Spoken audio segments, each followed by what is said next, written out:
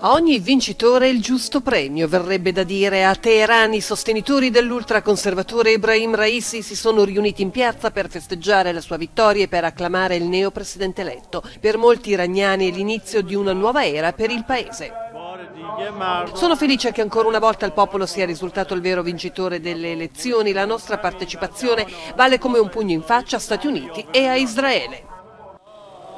Il capo della magistratura iraniana ha promesso di ripristinare quel senso di orgoglio dell'Iran di fronte a un Occidente sempre più falso e ipocrita, detto Raisi. Tra le sue priorità gli equilibri interni, lotta alla corruzione, maggiori aiuti alle fasce povere e rafforzamento della produzione industriale iraniana.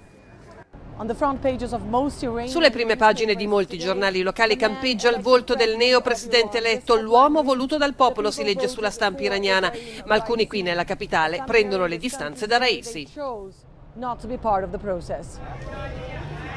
La maggioranza delle persone non ha votato, dice quest'uomo. I politici non ascoltano la gente come sempre. Non fanno mai quello che la gente chiede loro di fare. Parlano solo, ma non fanno i fatti.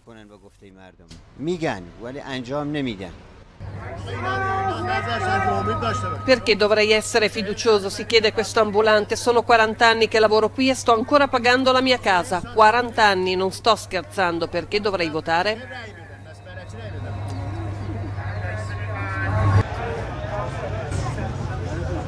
Il nuovo presidente iraniano entrerà in carica ufficialmente ad agosto. Questa è una fase molto delicata per l'Iran che da un lato cerca di salvare l'accordo sul nucleare del 2015 e dall'altra spera in una rimozione delle sanzioni imposte dagli Stati Uniti. Sanzioni che hanno quasi distrutto l'economia del paese.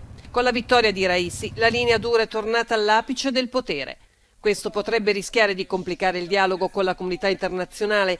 I conservatori sperano invece che porti unità e pace al popolo e all'Iran dopo anni di aspri scontri per il neopresidente Raisi. La sfida è enorme.